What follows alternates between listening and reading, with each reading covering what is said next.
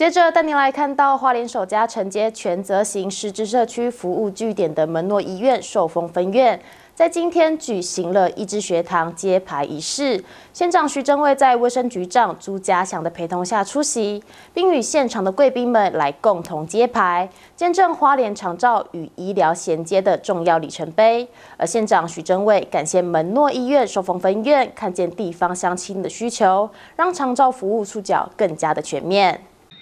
过来照顾失智合并精神行为症状患者，卫部今年推出全责型失智据点示范计划，由地区医院承接，全台仅十四家，花莲首家全责型由门诺寿丰分院承接。西南徐正卫卫生局长朱家祥、门诺医院院长庄永健。寿丰分院长钟慧副议长徐学义、县员林品阳、民政府以及地方各界齐聚一堂。我要谢谢所有的哦，所有的医生哦，这个因为啊，其实现在的呃长照在长照的布点越来越多以后，其实让很多的医护的人员流到长照里面来了，哦，流到一般的小规机来了。但是这也造成了我们医疗端的整个护理人力是是真的 loading 很重。所以，无论是中央、地方、啊区域，我们大家一起合作，共同呃面迎向未来的一个风暴。然而，哦家护的照顾，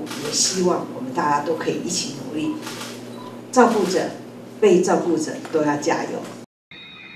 文诺松分表示，一支学堂设计多元课程、治疗活动以及营养照顾，稳定患者的情绪。延缓失能。当患者有医疗需求的时候，医院能够迅速衔接服务，并为照顾者提供支持团体，提升照顾技能以及身心健康。一支学堂目前暂时服务十个个案。副院长周文表示，文乐松分院近年来实质照顾尚不余力，针对患者个别需求量量身打造多元的治疗方案，